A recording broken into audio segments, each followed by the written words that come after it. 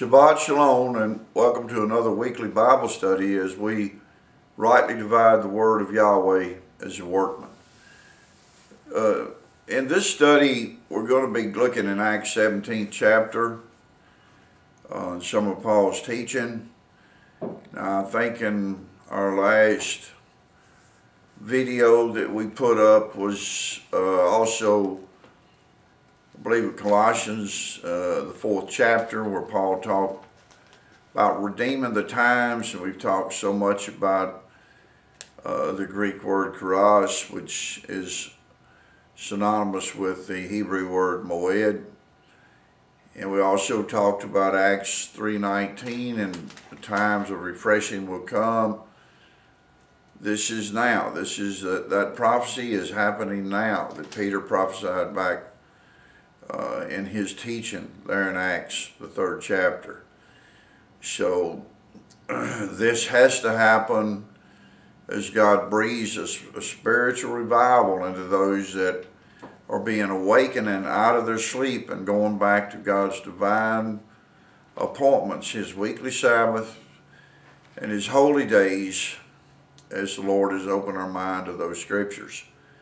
So this was prophesied, it's coming to pass, and we know that right after that, the Bible says in prophecy that uh, that Christ sits in the heavens and is soon to return to restore all for the restitution of all, which means that, of course, when he sets up his kingdom, uh, he will teach the Torah, and all nations will go to Zion year to year, Tishri to Tishri, to keep the Feast of Tabernacles. So let's start in uh, Acts 17.1. We're going to see some amazing things here that also talks about the resurrection of Jesus Christ.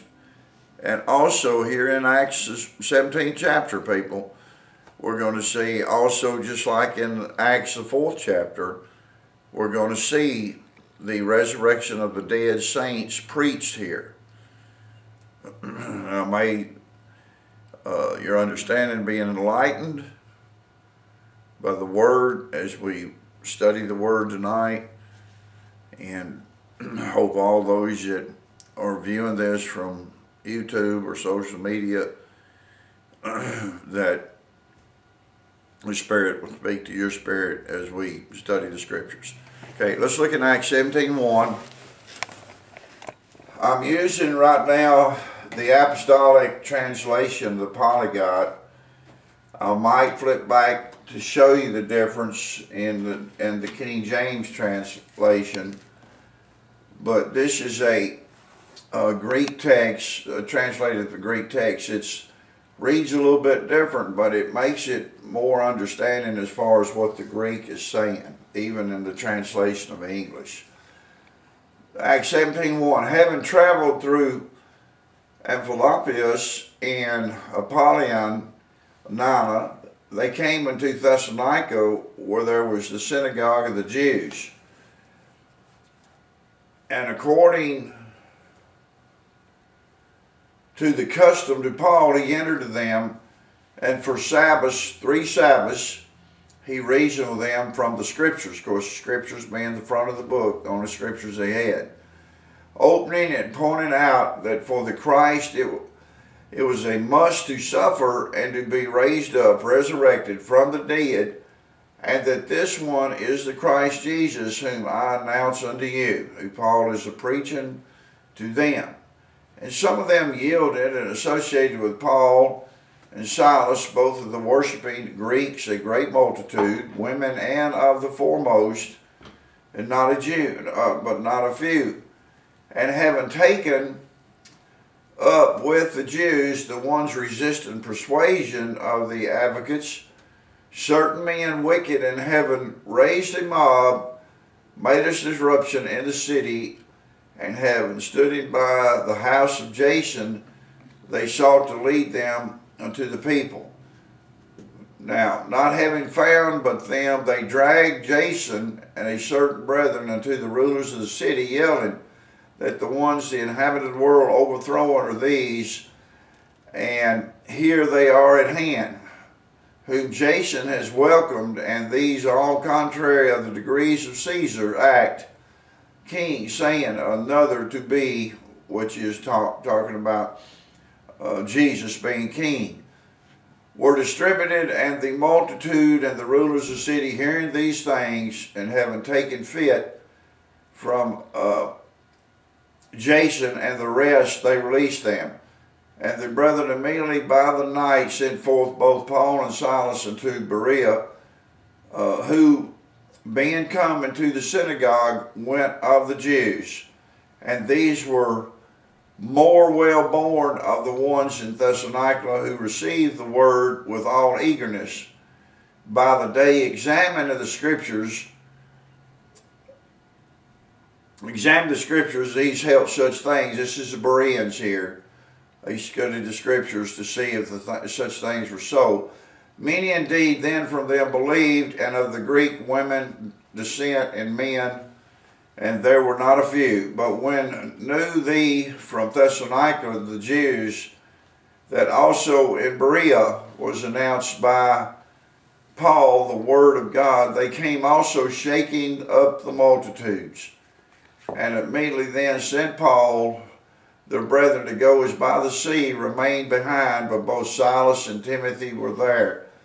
And the one standing by Paul led him to Athens, and having received a common command to Silas and Timothy that as quickly as possible they should come to him, they excited. But in Athens, looking out for them, Paul was provoked in his spirit in his viewing, full of idols being the city. He reasoned indeed, indeed then in the synagogue with the Jews and the ones worshiping in the market every day, the ones coming by. And some of the Epicureans and the Stoics and the philosophers engaged with him, and some said, Whatever this uh, does want a seed picker this? To say, and some said of his strange demons, he seems an announcer to be because of Jesus and the resurrection to them, he announced, uh, he, to them, he announced good news. Okay, people, I want to show you something here. Now, right here, let's back this up here just a little bit.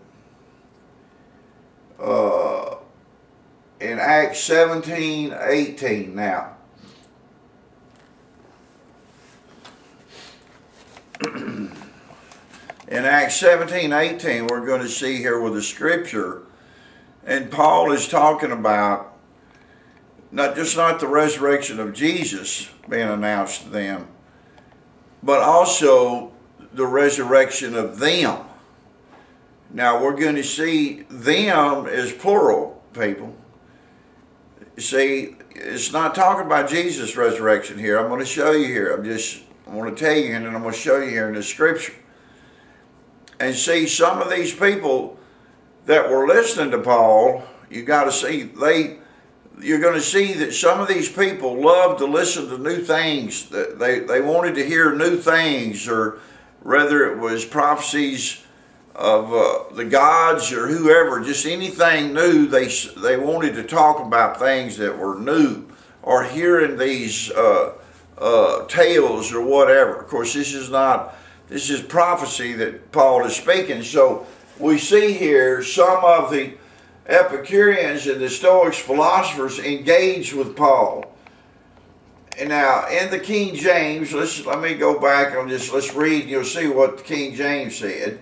Then certain philosophers of the Epicureans and of the Stoics encountered with Paul, and some said, What will this babbler say other some, he seemeth to be a setter forth of strange gods, because he preached unto them Jesus.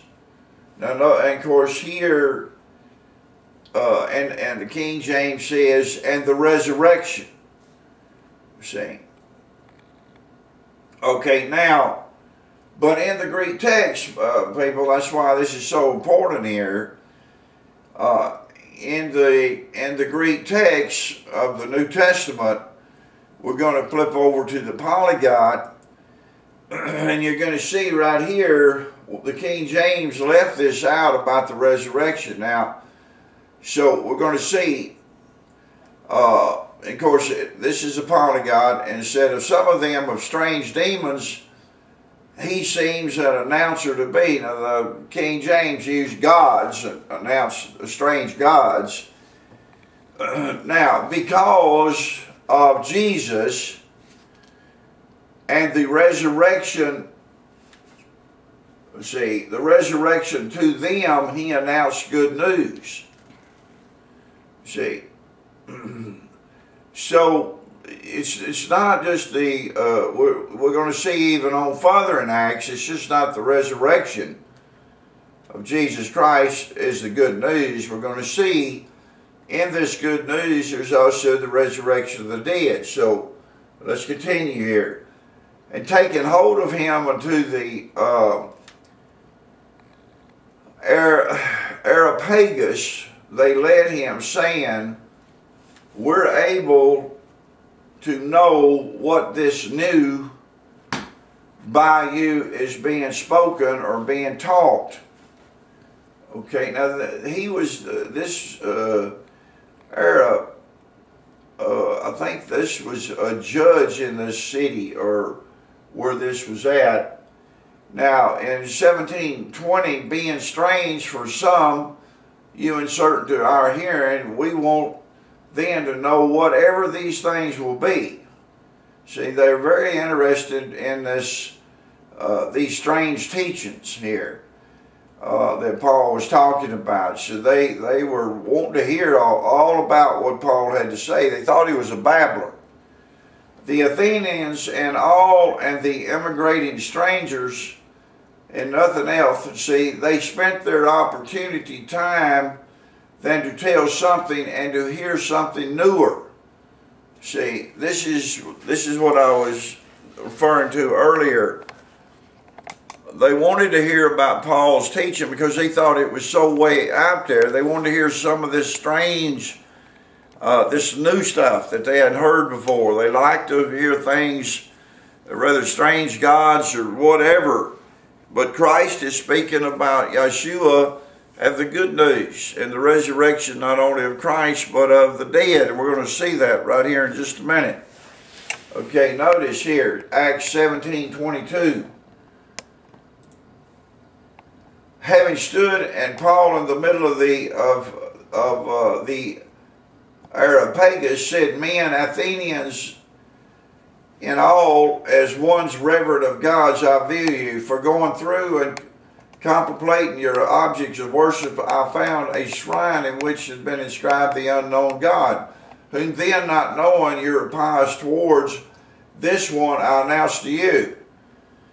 The God, the one making the cosmos and all thee in it, this one of heaven and earth, Lord being, does not in handmade temples dwell, nor by the hands of men attending is there any feelings, any one himself giving to all life and breath and to all. And he made of one blood every nation of men to dwell upon all the face of the earth, having confirmed beforehand times and the boundaries of their dwelling.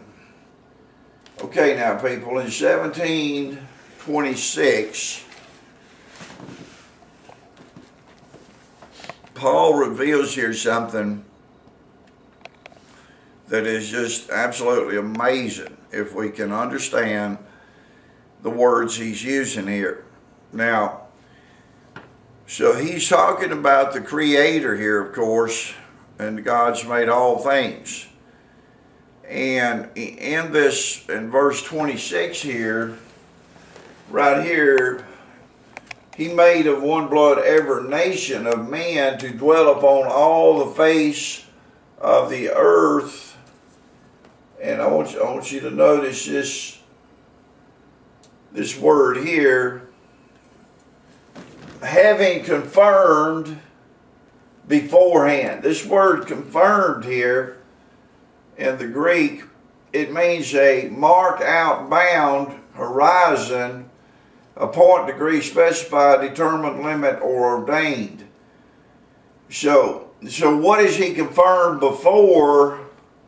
Now, beforehand here means to arrange towards, that is to enjoin, uh, to bid or command. So he had confirmed beforehand, uh, before the command, times and the boundaries of their dwelling. Now, the times here, here again, people, the, the, the word times here is kairos. G2540, this is God's appointed times. Uh, it's in the plural here. It has to do with his Sabbaths and his holy days. Now, notice the order Paul laid out here. He confirmed these times beforehand. Okay, uh, let's, right here, Paul says, having confirmed beforehand times and the boundaries of their dwellings, okay? Okay, what does he mean here, people? We know the word uh, kairos is synonymous with Moed. Now, when did, when did the Creator confirm the times beforehand? He confirmed them in Genesis 1.14, people. That's when he created So he created his divine appointments in 114 before he ever commanded them to come into being. Now, when did when did that happen? Okay, let's think about Genesis 1:14. That was the fourth day of creation, people. He did not create man until the sixth day. This is why Paul is telling you he had confirmed beforehand the times. See, they were already set. They were already confirmed. They were already created, people. And then when the time came for him to give them a command, then he gave those to Moses to give to the house of Israel. Uh, and these are the weekly Sabbath, the sign of the Sabbath, weekly Sabbath, Sabbath there is, uh, is the Sabbath. The sign is the Sabbath. On the seventh day you will rest. Now, the Hebrew word Kodesh or Kodosh it means to be it means to be set apart for a purpose. Now here God has confirmed this beforehand the times and see he set them apart for a purpose. What is the purpose? When the right time came, he gave them to Moses to give to his people Israel to worship him and to rehearse and follow him so they could learn about their God and they could be his people and he'll be their God and he will teach them and he will set he will set them apart from the world to worship him people. This is what this is all about see. This all got lost even before the apostles especially paul was martyred because he said the mystery of iniquity was already creeping in before before Paul ever departed people. So we're sitting here 1900 plus years later. We don't see as uh, different denominations and man's doctrines as long as they preach Jesus and love everybody and have their doctrine. We don't see any uh, deception there. We don't see any uh, darkness there. We don't see any iniquity there. But see, we, we understand the word iniquity means no Torah it would mean no Sabbath. It would mean no holy days uh, to worship God on. See, that's Torless. That's lawlessness. It don't mean just that uh, you a man commits murder or lies or commits adultery, people. Uh, of course, that's breaking God's law. But it's what he's talking about. Why he set his people apart is to worship them on those days. And then if anybody come into Israel, any alien or Gentile or stranger, they want to be an Israelite, they just followed the Lord. They followed God's ways. And, and God looked at them as the same as he looked at the Israelites, as long as they were obeying his uh, commandments and his teaching. Now, this is unbelievable, but this is what is being talked about right here in Acts 17 26. So God had confirmed beforehand his Sabbath, uh, his divine appointments. So, so he had already declared them uh, before he ever give them to Moses to give to Israel. And there again, uh, Kodash uh, means to be set apart. He set his people apart to worship on the Sabbath. He sets his people apart for his times and seasons to worship uh, his holidays or his seven holy days. Now, uh, now, if if we know what the word, uh, let's see, if we know what the word uh, Kodash is, then what would the word uh, uh, what would what would be the opposite of that? I think I wrote down something here if I could find it. So what would be the opposite of Kodash? So the opposite of set apart is common and profound people it, it, it means uh, not only is it common and profound, uh, uh, the option of Kadash or Kodosh, but it means that we have to know the difference. Now, what would the difference be?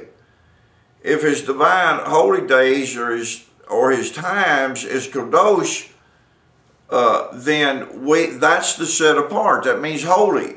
Kodosh in Hebrew, and all of the Greek words, uh, when Christ said, Be holy, for I am holy. What did he mean by that? See, it meant that you were following him on his divine appointments. That's why he said on the Sabbath and all other uh, uh divine appointments in Luke 21 36, watch and pray at all times that you be counted worthy in the resurrection of the dead to escape these things that are coming up on the earth to stand before the Son of Man, people. That's, that's a prayer that we are commanded to pray at these times. And I'm just, I'm just quoted, so I'm praying this prayer as I talk to whoever's out there in social media or YouTube. If you're following the Messiah, I am praying this prayer for all those people that are set apart at this time that the prayer that the Messiah said for us to pray for each other. My prayer is, and being on watch and praying, is that you in all times uh, that you will be counted worthy in the resurrection from the dead to escape all the things that are coming up on the earth and stand before the Son of Man. That's the prayer we're all supposed to be saying collectively in the body of Christ. So we're all members. One. This is the love for one another. See, the prayer for one another that we pray. So this is unbelievable what the Lord now is showing. And this has to do with his having confirmed beforehand the times now, and the boundaries of their dwelling, the word uh, boundaries here, it's a limit placing a boundary line uh, or bound. Uh, see, now, now think about it. It's a set apart time. Okay, when is Passover? The 14th day of Nisan. And you have seven days of unleavened bread. Then you, you have first fruits in unleavened bread. You have seven Sabbaths, you count the Omer from the first fruits, and you have Pentecost. See, there's a boundary line. There's a set time on God's calendar. And, and that's how exact God is, see? So he's not only confirmed before he ever give them, he created them before he ever gave them to Moses to give to his people. And they are still shadows for us of good things to come now, people. They have not been done away with. See, uh, when I talked to you in Acts uh, 3.19, it's the refreshing. The times of refreshing will come. That's now. It's happening right now. Has been happening for a few years. There's been a spiritual revival uh, going back to the Hebrew roots, to the front of the book, and and uh, and participating in his uh, weekly Sabbaths and his divine appointments. And remember, the opposite of a divine appointment or the opposite of the Sabbath or the set apart times is common or profane. And you got to know the difference. That's why Christ said you'll know them by their fruits. Do you understand that? That's what he's talking about. How would you know uh, a so-called believer by his fruits? You would see when they are worshiping, praising, and, and singing psalms and hymns uh, during these times, not other times, not a common time or a profane time, uh, but his divine times. That's what this is talking about. So hopefully your eyes will be open to what's being said here. So let's continue here and we'll see what Paul will continue, continue here. To seek the Lord, if then perhaps they might grope after him and might find him, though indeed not far from one each of us being. In him, for we live and move, and are as also some of the among you poets have said, for of him also there's a family, a family we are. We're a family because we meet him at his divine appointments. A family then being of God, ought we to think gold or silver or stone, an imprint of a craft, or thinking of a man, the divine to be like? And Paul says, the indeed then uh, times of ignorance having overlooked God at present extorts all men everywhere to repent. So what does Paul mean here? This word times means a set time or age. It's chronos. This is a different time in the Greek than kairos. So let's let's look at the King James here in case some of you might be a little confused and the times of God's ignorance, ignorance of this ignorance, God winked at in the past, but now commandeth all men everywhere to repent. So this is, see, God does not wink at ignorance anymore. He does not wink at at not knowing the truth or studying anymore. Uh, he, every man is command, commanded to repent and turn to God. Every man and woman. This is what Paul's saying here. Now, 1731, because he set a day in which he's about to judge the world and righteous by a man in whom he confirmed uh, belief, having furnished to all, having raised him from the dead. Now notice what Paul is saying here. Confirmed to all means the witnesses uh, to all here is talking about to all men he confirmed having raised him from the dead. Now, what that is speaking about, people, is all of the apostles, uh, even Paul being the last one, and even 500 and more at one time, seen the Messiah after he was raised from the dead on first fruits. Now this is what Paul's talking about here. It's very important, and we'll, we'll we're going to tie where he's at here because when we move into the 18th chapter, he goes to Corinthians. See, he's going to leave Greece, uh, he's going to Corinth. Now, so, so now, notice right here, people, this is what I was talking about earlier in the resurrection and, and the resurrection of the dead. So, right here it says, by a man in whom he confirmed belief has uh, furnished was furnished to all that Jesus Christ, having raised him, Christ from the dead, and they were all witnesses to it. See, uh, see, so uh, they were a witness to Christ's resurrection. Now, notice Paul continues here in 1732. Okay, now here is uh, raised him from the dead. This is talking about Jesus Christ right here. This right here in 1732 and hearing a resurrection of dead. Now wait a minute, people. See, now, now Christ is singular in the resurrection here. He's a singular masculine gender. Now, but now they're going to also, and here, in other words, they, they heard the resurrection from the dead in the Christ here, but then as Paul continues, and hearing a resurrection of dead. Now wait a minute now, who is this? You see, when you when you look the resurrection here of of the dead, this is in the plural masculine people. Now, okay, you say, well, now Larry, I never have, I never have heard that scripture. No preacher I've ever heard taught that scripture. Well, there's a lot of scriptures that the Lord's revealing now that preachers or teachers have not taught people because the mystery of iniquity. You got to understand the prophecy that when iniquity crept in uh, over 1900 years ago, what did Christ say? Christ said, the very first sign Christ said, many will come in my name and deceive many.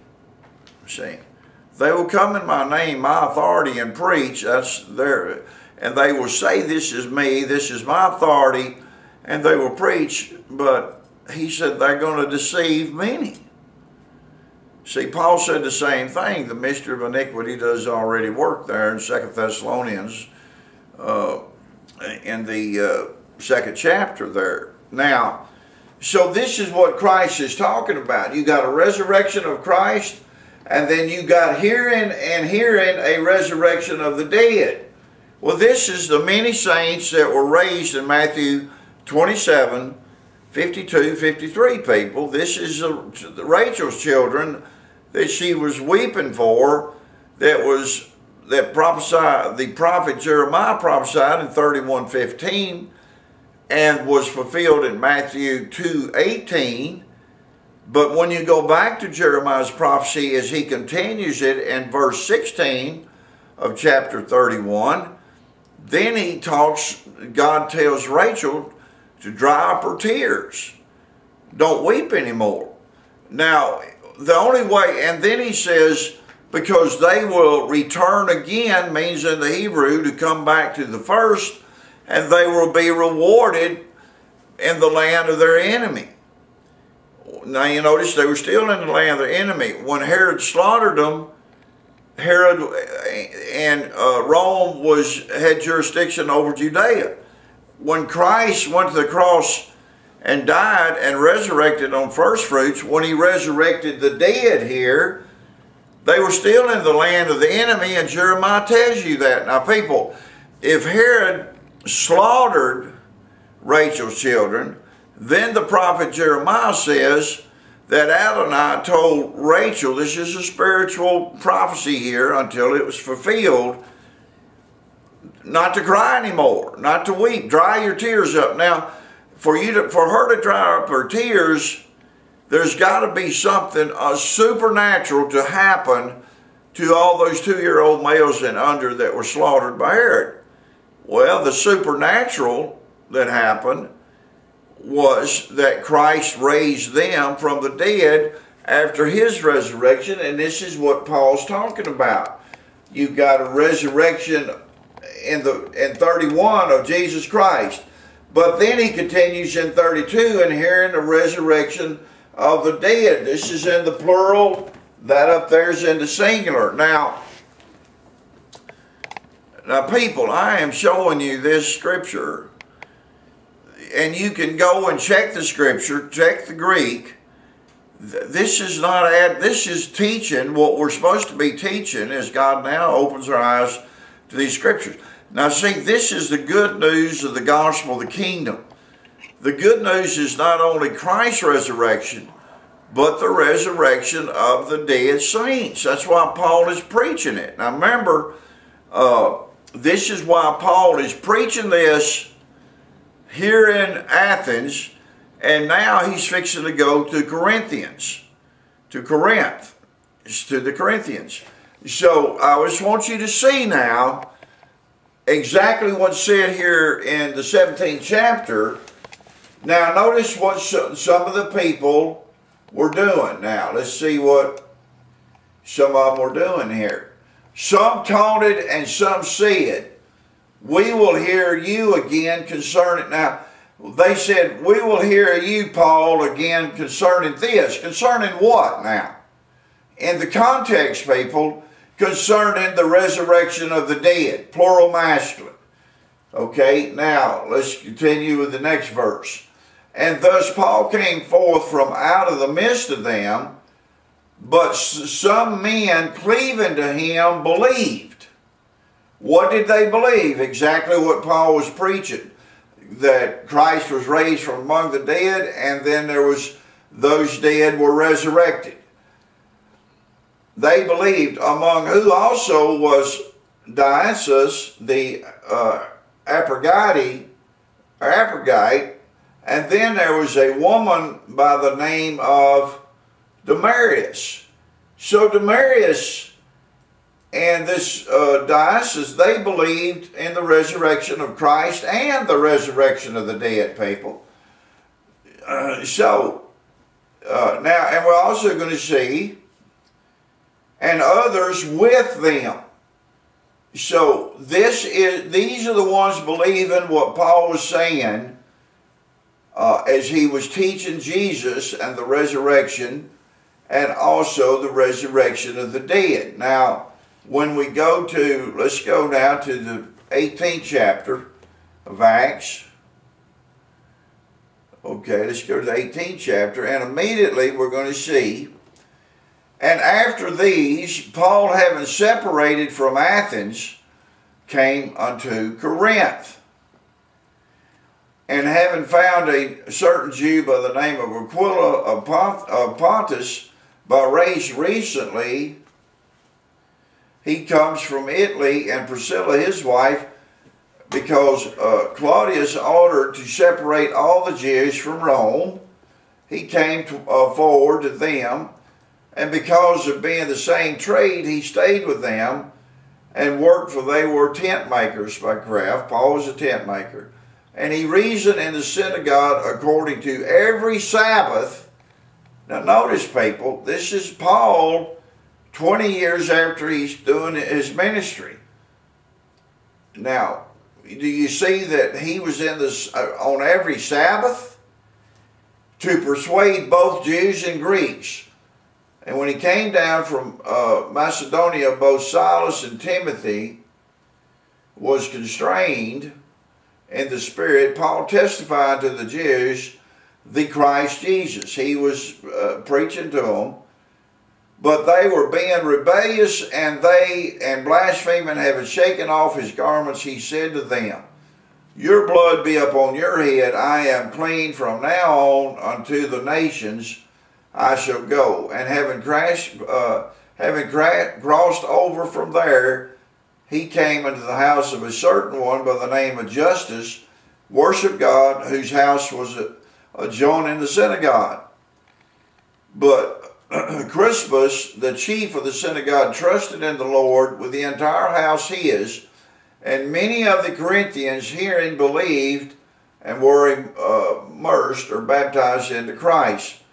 That's, I mean, baptizo is a Greek word. He said, And the Lord by vision at night to Paul, Fear not, but speak, and do not keep silent, because I am with you, and no one shall attack you to inflict evil upon you, because people there are with many in this city. Okay, now, okay, what I want to do now, people, is you see right here in Acts, now where is Paul at? And he's preaching unto these people.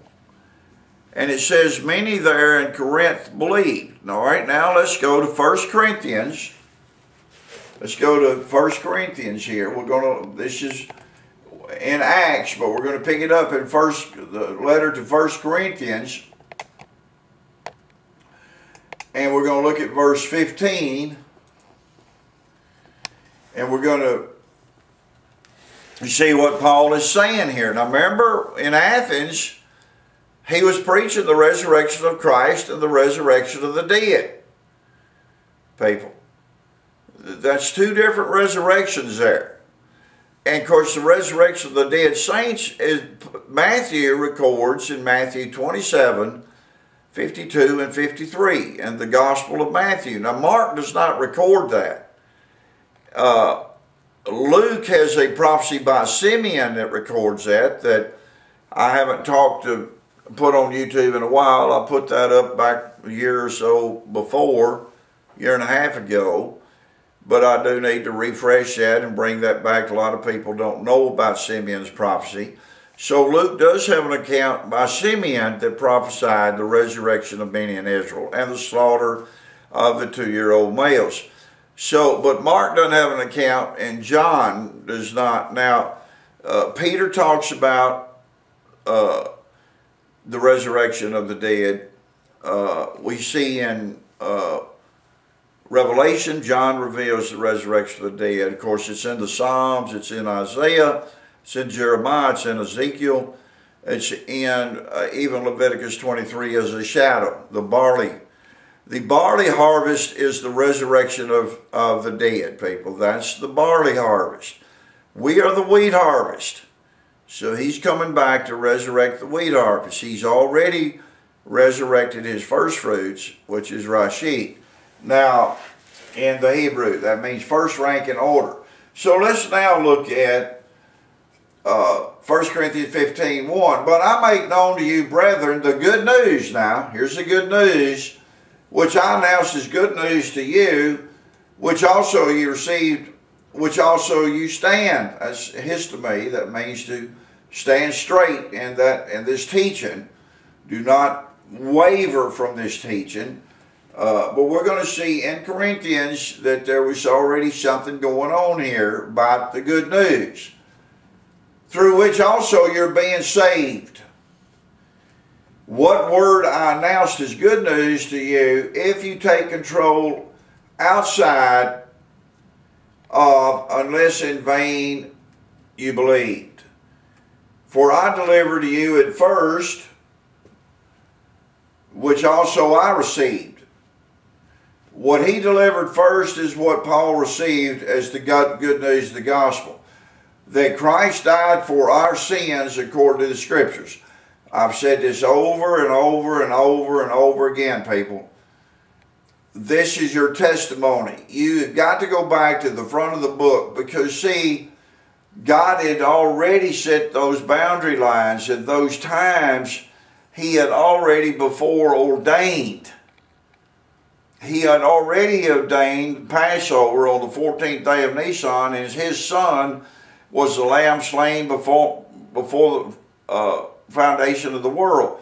So this is what Paul is saying. We have got to be a witness to the scriptures, the front of the book, according to how Christ died for our sins. Now notice in verse uh, 15, 4 and that he was entombed and that he was raised in the third day. Notice, people, according to the same scriptures. He was raised on first fruits according to Leviticus 23. And also, not only was he raised on first fruits, but he raised his first fruits, which are the dead that Paul's going to talk about here and the ones that recorded in Matthew 27 and also the ones he records in Acts the 17th chapter that we just left and come here to the epistle to the writings to the Corinthians. Now, now right here, Paul goes from right there, and now he goes from verse 5 through let me see if I can stop it here, through 12, 212. Well, I got to back it up a little bit. I went too far. But anyhow, uh, 5. Okay, maybe I can get stumped. Okay. Right here, 5 through 11. Okay, people. I'll just the context of verse 5 through 11 is in the order. Paul lays out the order of the ones that seen Christ after his resurrection. So he talks about uh, Peter seeing him, the 12 apostles, 500, and then he even gets to him. I'm the last of all that seen him on the road to Damascus when he blinded him and spoke to him there as a light. So Paul is explaining from 5 to verse 11 the order. Now you remember back in Acts when I told you uh, when he when when they were the scripture Paul was saying that all knew or were witness to the resurrection of Christ uh, that God had made that uh, apparent. In other words, that's what he was talking about in Acts. Well, he's just giving you the order of, of those that he was talking about in Acts. He goes into great detail here. He just said there was all men that seen Christ after the resurrection. Now he gives you the order. Even these 500 that we don't know who they were, but there was over 500 men that seen Christ uh, at one time. This group of men. So, all right, now, now we're going to pick it up in verse 12. Okay. Now, notice Paul is going to have a problem here starting in verse 12. All right, let's see what he says. And if Christ is preached or proclaimed that from the dead he has been raised, how say some among you that a resurrection of the dead there is not? Now, people, do y'all see what this scripture is saying? This is the apostolic version. It's a, it's a much better version than the King James. You can you can go to you can go to Bible Hub. Yeah, I think it's, yeah. You go to Bible Hub or Bible Gateway, and you can find the apostolic uh, translation there. So you, it's online. It's free. You can find it there. I downloaded it on eSword. So but I want you to see, see, Paul, already Paul has got, he's got, he's made a statement here that some of the assemblies in Corinthians, or Corinth, is preaching the resurrection of Christ. True. But notice what he, Paul said. Well, then how say some among you that a resurrection of the dead there is not? See, in other words, you're, you're preaching part of uh, Matthew's gospel because Matthew records uh, that Christ arose from the dead. John records it. Uh, Luke records it. Mark, but but Matthew records there's many saints. Their graves were broke open after Christ died. That's when God the Father marked those graves as first fruits, just like the priest marked the sheaves of barley, people, when they tied a a ribbon around the ones they were going to harvest uh, on first fruits. So God marked these. Uh, when, as soon as Christ died, they were marked. Now, wh why Paul was saying this is so important. Think about it. The, the Bible says they came after they came out of their graves after Christ's resurrection because he's first born from the dead. He's first rank in order of the new creation. But their second rank in order starting from Judah to Benjamin. That's why they were sealed in Revelation 7. The exact order, see. All right, now, the point I want to say to you is, some were preaching Christ's resurrection. These graves had been broken open and their bodies were laying in graves for three days, people, with their tombs open. See, but what did they didn't have? They did not have the ruach or the spirit in them. They were dead bodies. Now they wasn't dead bones laying there. God had already made them a body of flesh and bone. That comes from Ezekiel the 37th chapter. I've got a thing on that. This is all in the Bible, people. There's no way I could be teaching this like this and making up all this uh, supernatural stuff. It all comes from the Bible. All you got to do is just go study it, and the Holy Spirit, it'll try, it, it will lead you into these truths. Now, the point I'm saying is, you see the argument here Paul is saying. How in the world can you teach Christ raised when there's many dead bodies all around Judea and the coast thereof, laying in their graves, and Christ comes out of his and goes on about his business, and uh, would wouldn't that be kind of slack of the Creator for for all of these bodies that he that he opened up their graves and give them a a flesh and bone body, but no spirit? See, see, see how if you understand what's going on, you're going to say, yeah, I can, I can see why Paul is upset. How could you teach that? What about all these graves and the bodies laying there? You got to tell people as a witness to the good news, they come out after Christ's resurrection, just like the Bible says. Now let's move on.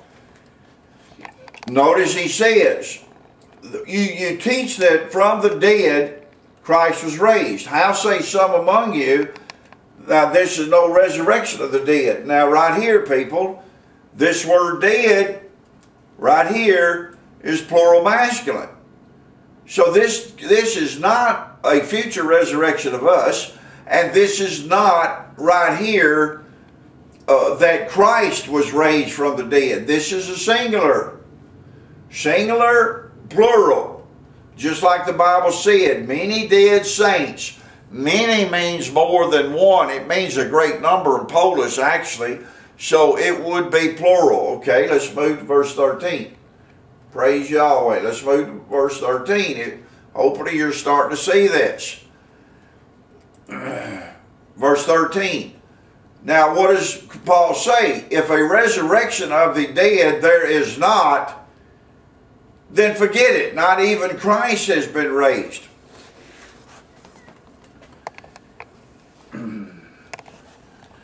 Okay, people, can you, can you believe how unbelievable this is?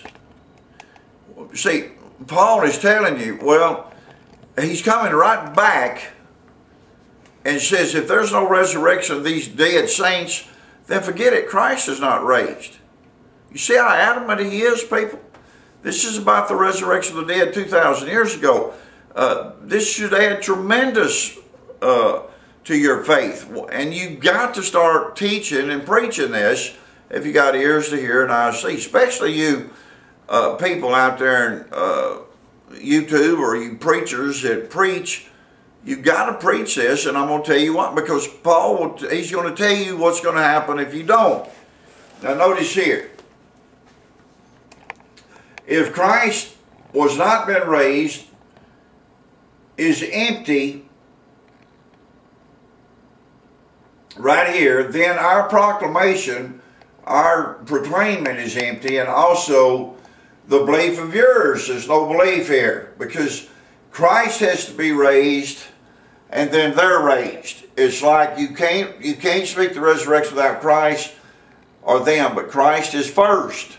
So if Christ is not raised, everything is empty. In other words, our belief, everything. Now, look what he says in verse 15. Got just a few more minutes here. Look what he says in verse 15. And we are found even as fault. Now this is Paul and all those who seen Christ back then as witnesses that God raised him from the dead. So Paul says, we are found even as false witnesses. Uh, the word of false witness means a spurious witness that is a barrier of a untrue testimony, people. So our witness has to be a true witness of the resurrection of Jesus and the first fruits. And we will be a bearer of a false witness if we only preach the resurrection of Christ. This is what he's saying. All right, of God, for we witness concerning God that he raised the Christ. But Paul don't stop there, see. But Paul says, whom he raised not, if indeed it is so. This word ara means in reference more or less, it means drawing a conclusion. So if indeed it is so, the dead are not raised. People, if if if you've never witnessed or seen this, I've taught on this over and over. But you know, you we I, it should be taught every time anybody preaches God's word, because we are a true witness to the gospel of the kingdom. Those that are witnessing the resurrection of Christ and his first fruits in Matthew 27, 52 and 3, this is why Paul says this. Look what he said. He said, I'm a false witness. Paul seen Christ after the resurrection. He said everybody else has seen him. That's why uh, Peter also in Acts 4, remember in the last video I believe I put up, I went to Acts 4, 1, and the Pharisees and the Sadducees were grieved greatly because Christ, because Peter was preaching the resurrection of the dead, just like Paul is uh, reprimanding some of the preachers here that you got to preach the resurrection of the Messiah, or if you don't, you will be found a false witness. Now, now, look what he says in verse 16, people. For if the dead are not raised, not even now, how many times has he got to say this, people? He just he started out talking about this. He keeps hammering it. And if Christ has not been raised, it's vain to believe of yours, and you're still in your sins because there's been no atonement. There's no been no shedding of the blood because if Christ has not been raised, then guess what? Christ cannot be raised unless he dies. That's the shedding of the blood and atonement for our sins. So Paul brings in sins here. He did not in verse 14. He just said our gospel, our teaching, our belief, everything is empty. There's no substance to it. But now he's, he's saying if Christ is not raised, we're still in our sins, see. But also, knowing he has been raised, there has to also be the teaching of the resurrection of the saints, or we are a false witness. Now, if we're a false witness, uh, then according to Torah, you're put to death. So if we're false witnesses, we're not going to inherit the kingdom, people. Now, now this all goes back to the the uh, determinant of times there in Acts 17, 26 before God had prepared these times, been determined, the boundaries had been set apart, everything. Because, see, the only way you can understand the resurrection of the first fruits, because that's the feast of first fruits. If you're not on his calendar, you, you don't have any idea that's the resurrection of the first fruits. That's why we've all been raised in this Easter Sunday stuff, which is the resurrection of the Christ. Now, everybody, and me included, we've all come up in this. It don't make a difference what church you belong to out there.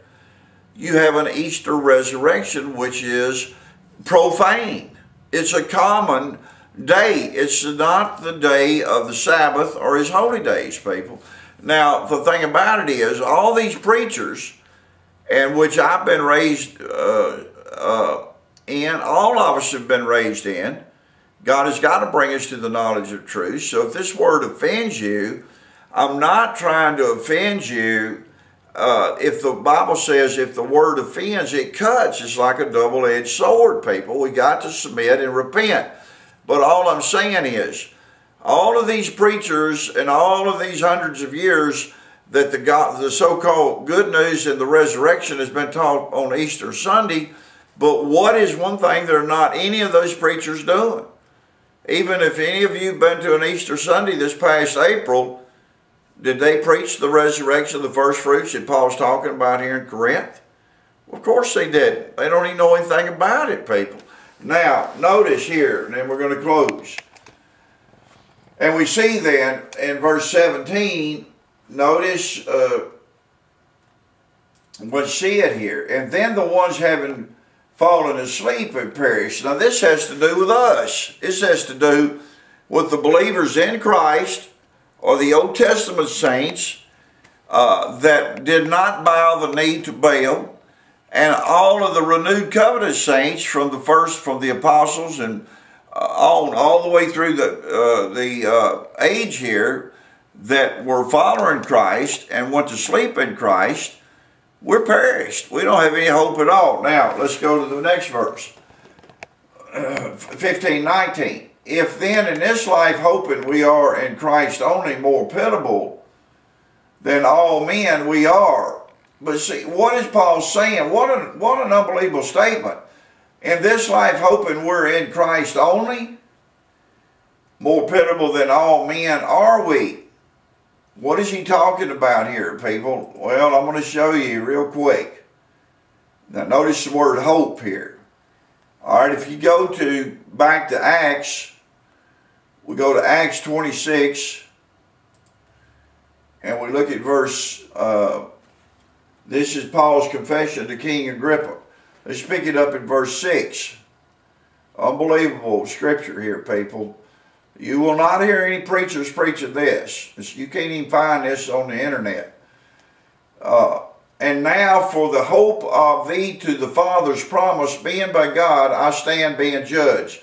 Paul's fixing to be killed because his hope that he stands by is, is what God uh, made a covenant with the fathers, Abraham, Isaac, and Jacob. That promise has not been fully fulfilled yet, but it's been promised through the covenant to God to Abraham, Isaac, and Jacob.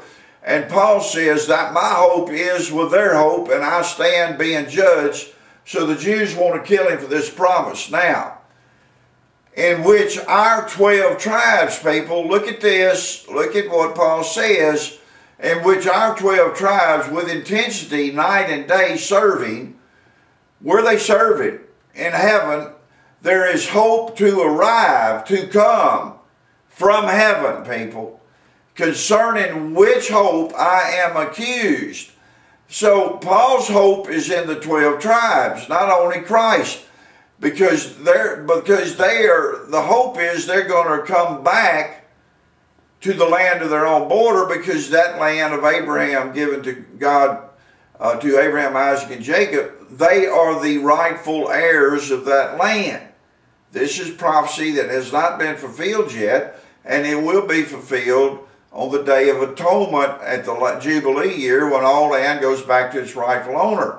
That ought to tell you that Christ is coming in that season with the 12 tribes. Now notice he says, which hope I am accused, O King Agrippa, by the Jews. Now, look at the very next verse and we're going to close. Look what he says exactly what he says in Acts 17, what Peter says in Acts 4 1. Paul is saying here, he's telling King Agrippa the 12 tribes are worshiping God night and day. See, that's on the calendar, not day and night, night and day. That's when our day starts, evening to evening. See, and he says that they're worshiping God night and day, and there's hope for them to arrive to come at the correct Jubilee, last Jubilee year, they will come back as Christ comes back to set up his kingdom. Now, look at the very next verse here. Paul continues. Why? Here's the thought. Why is it so unbelievable it is judged by you or anybody listening to this message? Uh, the dead raises uh, by you if God the dead raises. See? This right here, people, is the same thing he talked about Corinthians. These are the dead saints that has been raised from the dead. So look what the context. Now who is the, what is he saying? It's unbelievable and it's judged by you and everybody that if, if, if God, the dead raises, what's the context, people? Everybody says go by context. Where's the, what's the context? The context that the 12 tribes, which Paul says is our, which is our 12 tribes, has already been raised from the dead, people. So this is what, here's a confession to King Agrippa. And see, they knew all of this, people, but you got to remember, in Matthew, the 28th chapter, verse 11. Just go read it. That the Jews paid the Roman soldiers. Now, Herod took by the Roman soldiers killed the two-year-old males and under. Christ's resurrection and the resurrection of those two-year-old males and under in in uh, in uh, Matthew 28, 11, it's recorded even unto this day the Jews paid large money, and this is one 30 pieces of silver, people. This was large money to cover up the resurrection of Jesus Christ. Now, if they covered up the resurrection of Jesus, of course they wouldn't allow the resurrection of the dead saints. Because, see, Christ was first raised and then the saints were raised. So if they covered up the resurrection of, the, of Christ, then they killed the resurrection of the first fruits. And that's why they were from the house of Esau. They were a bunch of Edomites wanting Jacob's inheritance.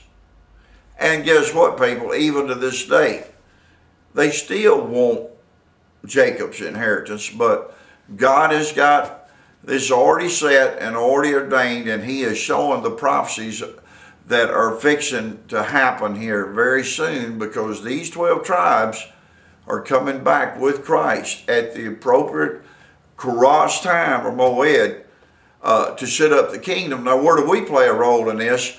We're going to be resurrected in the fall feast at the same appropriate time because we're going to meet them in the clouds, that's plural, and, and the air to evermore be with the Messiah. That word evermore to be is in the Greek, and we will uh, be with Christ in all the times then on the Sabbath and the holy days. Isn't that amazing? That's what that word means. Now may the God of Abraham, Isaac, and Jacob, may that spirit witness to your spirit as we have traded these scriptures with one another. And may that spirit witness to the assemblies out there. In the name of our Lord Jesus Christ and soon coming King. Amen.